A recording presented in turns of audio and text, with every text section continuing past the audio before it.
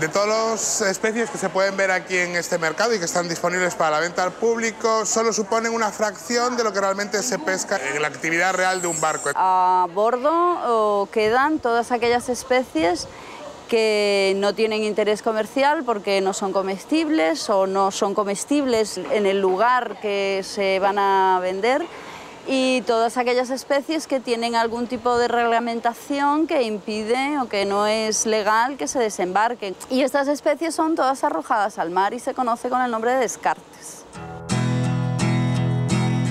En general, la FAO en sus estadísticas a nivel mundial habla de en torno a un 7 o un 10% de descartes, es decir, de especies o biomasa que se devuelve al mar sin posterior aprovechamiento.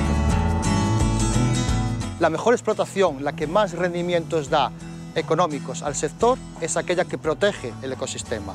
Dado que el sistema marino produce mucho más de lo que es capaz de asumir, ese exceso de producción puede ser explotado. En eso se basa la explotación pesquera. Con lo cual, un ecosistema muy bien protegido, muy bien, muy sostenible, es capaz de dar un rendimiento mucho mayor a las pesquerías de lo que actualmente está, está dando.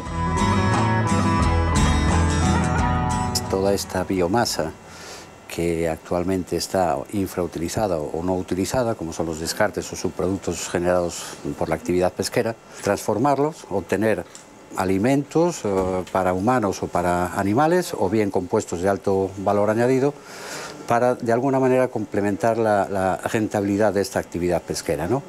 Con nuevos eh, desarrollos tecnológicos, ver la posibilidad de utilizar fundamentalmente el músculo de estas especies, ¿no? o bien, si pudiera llegar a ser el caso, eh, directamente al consumidor en, su forma integral. ¿no? Lo que estamos haciendo en este momento son eh, procesos de hidrólisis enzimática de la especie munida, que es una especie de cigala pequeñita, hidrolizados que se pueden utilizar para consumo humano como suplemento o bien para alimentación animal, acuicultura, piensos, etcétera, etcétera.